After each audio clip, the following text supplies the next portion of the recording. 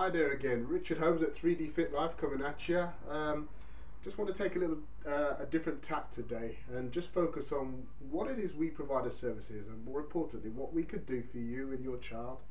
I mean, and some of the questions I'd just like to put to you are: uh, um, Does your child um, have issues with their weight, as in you know, are they overweight or maybe you know even obese? Um, do they struggle with confidence? Um, as in just their ability to be able to express themselves in front of others. Um, these are the sort of questions which um, are present in my thinking when it when it comes to working with children, and indeed when um, I work with them, what, what what I inevitably want to um, help them with. Um, you see, we use our uh, fitness as a means to actually connect with your child, but more importantly, for your child to connect with themselves so that they can then take their, their themselves and out there into the real world and be feel like that they can actually function, that they have the confidence to actually um, make a make a make a presence and, and indeed make a difference. And and sport or rather fitness in this case is a very good way of doing that. You see, whether your child is naturally gifted or not, there's still a situation where through the medium of, of, of physical activity, there is an opportunity for them to actually get to know themselves through challenges, to be able to see how they respond, and more importantly, get feedback from coaches like us. And in that way, eh, all kids are different. So we can't just bunch them all together and hope that we can actually deal with them in the same way. And we don't do that. You see, on a scale of 1 to 10, you may well find that your child, luckily enough, is somewhere around 8. And that's simply because they're very good at what they do. They naturally pick up on the skills that they're asked to perform very quickly, whether it's a press up or how fast they run or or how agile they are or how strong they are picking things up. So for them, it's it it's a natural um, it's something that is going to enable them to feel good about themselves. But inevitably, there are all other kids who, in a sense, make up the pack in that group and they don't necessarily have that natural ability.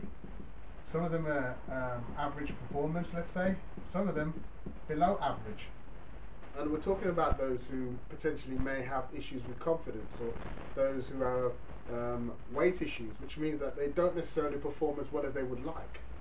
Now, what I'm actually mapping out here is sort of like the scenario I grew up in. And we're talking about an old school scenario where sport was something where you were actually good at or you weren't. You know, there was not much grey area in that for a lot of people.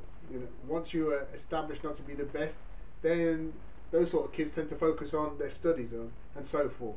Well, we don't see that way anymore. And as much as that's the way things used to be, for us, this may well be the starting point now.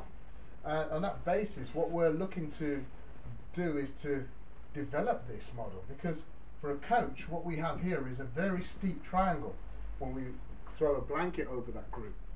And we don't want that. We want a situation which is more like this, where the best and those average performers and those below average performers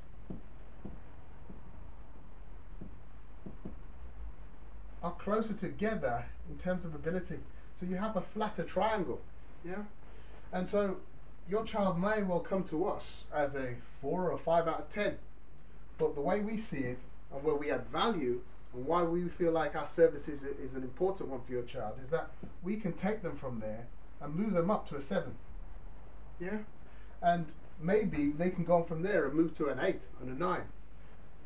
Maybe still they wind up sitting up there at the top simply because there's no reason why physical activity can't be like um, maths. You know, you don't do Pythagoras' theorem until you've actually learned how to add numbers, or indeed what numbers are. There is a progression path, and we see that the same way here.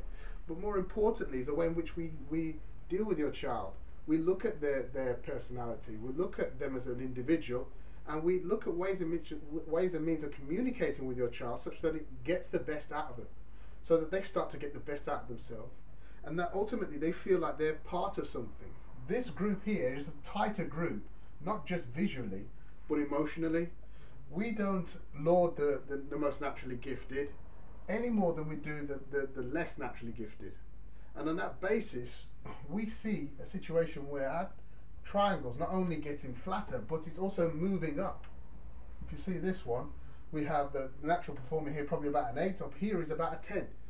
Everybody gets the opportunity to make their best better in the 3D environment, and that's what we're about. So hopefully you feel the same way. And um, if you have any um, questions to ask, any further questions, just below this video there's a comment section. You can add those questions in and I will respond to them wholeheartedly. Um, if you want some more personal treatment, I've got an email address, richard at 3dfitlife.com. Um, feel free to get in touch, people. Come down to the sessions as well. Meet me, meet me in uh, on the stomping ground. So thanks for taking the time to listen to this, and hopefully we'll get the opportunity to meet and discuss these issues soon. And hopefully I'll get to work with your kids too. Peace.